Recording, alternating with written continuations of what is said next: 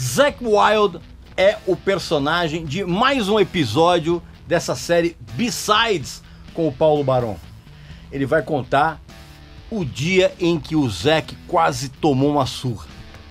Presta atenção.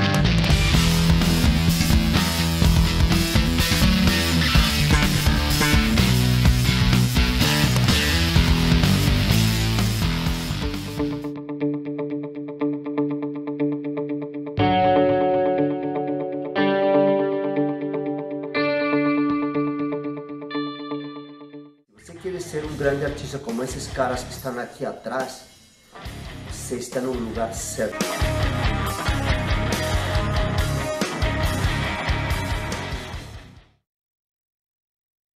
Pois é, meu amigo e minha amiga. O nosso grande amigo Paulo Barão tem agora o seu próprio curso. E você tem que saber que toda pessoa que assiste o nosso canal tem uma série de vantagens. E no caso do, do curso do Paulo, a grande vantagem é a seguinte: você vai clicar no link abaixo ou no QR Code que você está vendo agora no vídeo e entra e preenche um cupom com aquela velha frase que você já conhece, né? Regis Tadeu indica. Feito isso, você vai ter 10% de desconto do valor do curso.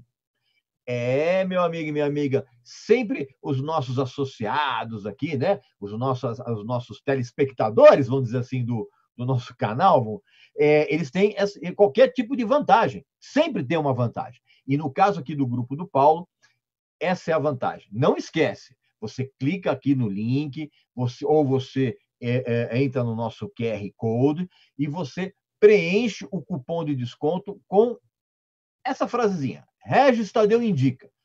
Tudo junto, tá bom? E você vai ter, então, esse desconto de 10%. Beleza? Fica ligado, então. Meu amigo e minha amiga, Zack Wild é o personagem de mais um episódio dessa série que traz as histórias de bastidores. Que só pode acontecer esse tipo de coisa com o Paulo Maron. E o Paulo vai contar hoje um, uma história simplesmente absurda, cara. O, o, o Zac Wild escapou de tomar uma surra espetacular na Argentina, cara. É uma história tão. Cara, eu vou deixar o Paulo contar essa história, que é um negócio tão absurdo que vocês não vão acreditar. Conta aí, Paulo, o que, que aconteceu quando o Zac Wild tentou agradar os argentinos? Amigos, estamos em mais um programa de Rock My Dreams, Lados B, onde contamos as coisas que acontecem no backstage, coisas que me aconteceram com os grandes artistas que você gosta. Bom, desta vez vamos falar do Zac Wild o eterno guitarrista da banda Black Label Society e o grande guitarrista do Ozzy Osbourne. Mas ele se meteu em um problema, viu? Ele e a banda deles. Sabiam que em Buenos Aires ele quase apanhou? Sim, senhores, ele e a banda.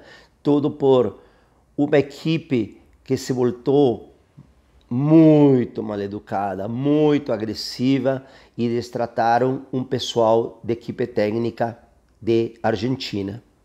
A sorte foi que aquele dia o Renato me chamou, eu estava no hotel, eu não queria ir no show porque eu já estava achando a equipe muito mal educada e o Renato me chamou e ele vai contar para vocês, mas só vou falar uma coisa, falei para o Saki, Saki, você que é de uma gangue, como vocês são, se vocês levam uma jaqueta, sempre Black Label Society, todos juntos, igualzinho.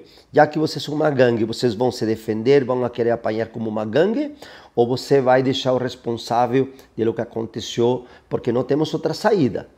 Ou apanhamos todos, ou eu te salvo e pode sair. E sabe o que fez o Sadwile? Isso, isso banda?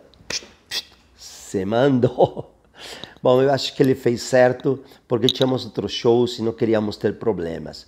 Então, Renato, conta essa história pra gente. Eu posso falar uma coisa, eu nunca mais voltei a trabalhar com Black Label Society justamente por isso. Porque, como eu falei para o próprio Sadual, falei, eu não gosto de equipes mal educadas, não gosto de pessoas que são dessa maneira.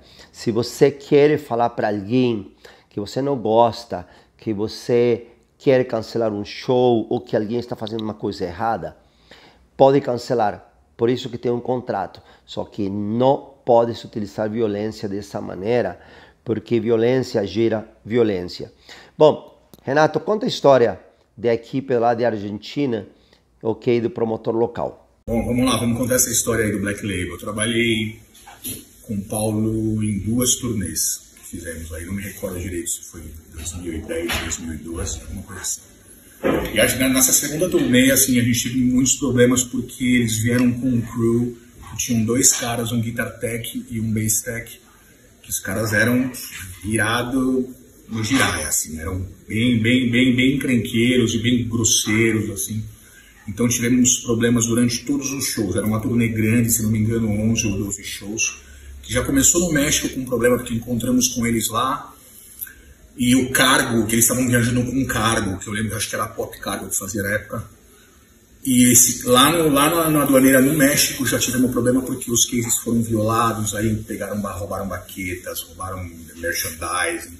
Então eles já estavam com o bico virado desde o México pro resto da turnê. Bom, fizemos alguns shows, aí chegamos em Buenos Aires e o primeiro show era em Rosário, que é até a cidade onde o Messi nasceu, que é uma cidade a 3, 4 horas de carro. A gente foi de turbus já de Ezeiza até Rosário para fazer esse show, que é uma cidade um pouco menor, que o lugar do show já não tinha tanta estrutura, as docas não deixavam o equipamento entrar do jeito que tem que entrar, então assim, foi muito desgastante, eles estavam com muito equipamento, porque como estava voando cargo, se não me engano era uma tonelada, não lembro, é, foi super complicado, assim, tivemos muitos problemas já com esses caras lá, eles já estavam super estressados. Aí viemos para Buenos Aires, para tocar no Teatro Flores, que quem conhece sabe que é um lugar pequeno, que não tem muita saída, assim, não tem muita vazão. E estavam colocando um kabuki, que é aquela, aquele pano de proteção na frente, na primeira música, onde se soltava o kabuki e aparecia a banda. E um dos, um dos os seguranças estavam na frente, e eu lembro desse cara, porque eu já trabalhei lá com esse cara várias vezes. Esse cara é um bandido, assim, ele é segurança, mas o cara é barra brava, tipo da torcida lá 12 do Boca Juniors, o cara assim, o cara da pesada, assim, ele era o chefe dos seguranças. E na hora que foi soltar esse kabuki, uma das partes ficou presa, e esse cara pisou num pedaço e o hold não conseguia puxar. Isso, esse cara tava de costas, né, com uma camiseta escrito seguridade tal. E vê que o cara da segurança. E esse hold deu um tapa na cabeça do cara. Foi aí que começou a confusão. A banda já tinha começado a tocar, e aí nisso Nisso vieram outros seguranças e ficou aquele empurra-empurra, o Zac tocando, olhando para baixo e o bicho pegando. Bom, a, banda continuou tocando e a confusão veio para trás ali no backstage, onde os seguranças queriam pegar o cara de qualquer jeito. E aí a gente conseguiu separar. E aí eu liguei pro Paulo e falei, Paulo, o bicho vai pegar aqui, cara. Os caras vão bater no cara, não sei o que eu faço, eu preciso da sua ajuda. Nisso o Paulo falou com os promotores, os promotores locais, que também entraram em contato comigo e os caras chegaram lá e falaram, cara, não tem o que fazer. Ou você tira ele daí, ou ele vai apanhar, porque você não tem como segurar os caras, os caras vão bater nele. E isso já me deu um desespero, porque isso ia ter um problema grande depois, né? Isso o Paulo chegou e tentando negociar com os caras, tentando negociar, e o Paulo falou assim, não dá nem para tirar o cara daí de dentro, porque eles já fecharam as saídas, né? a gente vai ter que esperar e o cara vai apanhar. Isso eu tô rindo agora, mas não foi nada engraçado na época, não. É, depois que terminou o show, aí já começou aquele burburinho, porque o cara sabia que ia apanhar. Nisso ele subiu, esse, esse segurança subiu com mais três em cima do palco, e todo mundo conversando ali, inclusive o Zac. E ele conversando com o cara, batendo boca, batendo boca, e o Barão virou e falou assim, cara, a gente precisa resolver isso, não vai ter violência e tal. E ele olhou para mim e deu uma piscadinha, tipo assim, tava tentando, né, deixar o, Hold um pouquinho mais feliz. Bom, é, resumindo, esse cara chegou por trás do Paulo, assim, deu mais assim, de mão aberta na orelha, assim, desse alemão, desse Roger aí.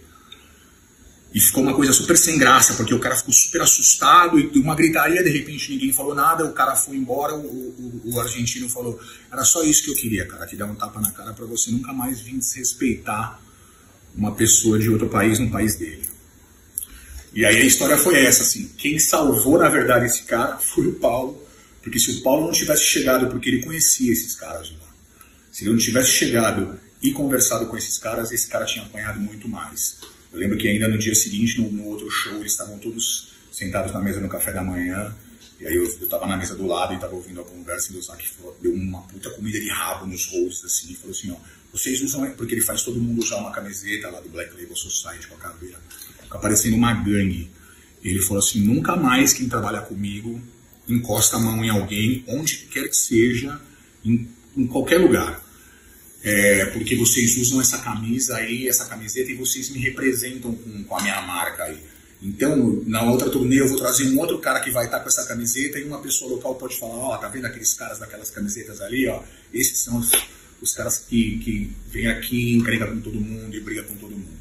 Então, deu uma lição de moral ali e eu tenho certeza que esse cara não mexeu mais com ninguém, porque a coisa ali foi feia. Meu, não é possível um negócio desse. Essas coisas só acontecem o, tendo Paulo como testemunha, né? Que história bizarra.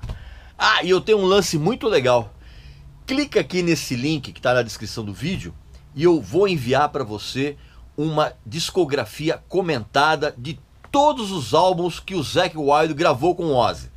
Textos exclusivos. É só você clicar aqui no link na descrição do vídeo. Pois é, meu amigo e minha amiga, esse então foi mais um episódio da série B-Sides com Paulo Baron, que ele traz essas histórias de, de bastidores espetaculares. Muitas delas estão no livro dele, que eu recomendo. E a gente volta muito em breve com mais um, um personagem aqui. Não esquece de fazer a sua inscrição aqui no canal, aquela coisa toda que você já sabe, tá bom? E não esqueça também de comprar o livro do Paulo, que é bem divertido, beleza? Então um abraço, saúde para você, para sua família e para os seus amigos.